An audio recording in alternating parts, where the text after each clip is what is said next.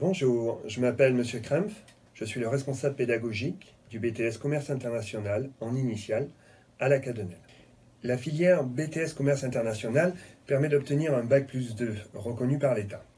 Cette formation s'organise autour de différents grands domaines et de nombreuses matières, dans les domaines économiques, marketing, logistique et bien sûr la maîtrise des langues vivantes étrangères.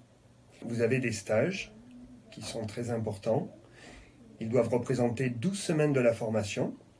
À la fin de la première année, vous avez 8 semaines qui se déroulent à l'étranger, dans une entreprise étrangère pour laquelle vous ferez des actions de prospection, recherche de clients, et un stage en deuxième année de 4 semaines qui, lui, se déroule dans la logistique, au cœur d'un service import-export d'une entreprise française.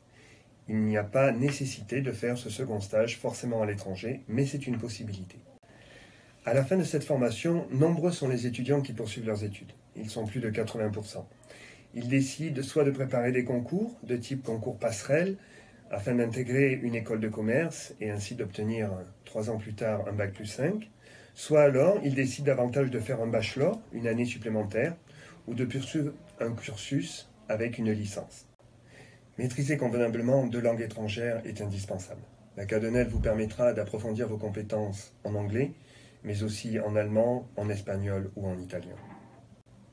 Pour intégrer notre formation, vous devez faire preuve de ténacité, de dynamisme, aimer la communication et l'ouverture sur le monde.